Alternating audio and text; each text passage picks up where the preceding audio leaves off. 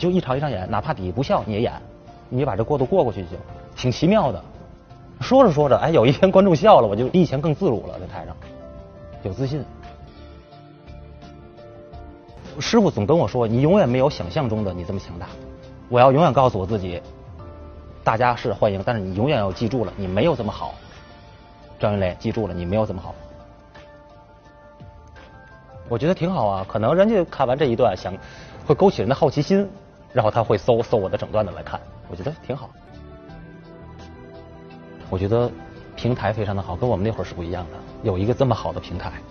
我每次上场的时候，我都告诉我自己，张云雷，这是你的第一场演出，你不能不紧张，你要紧张。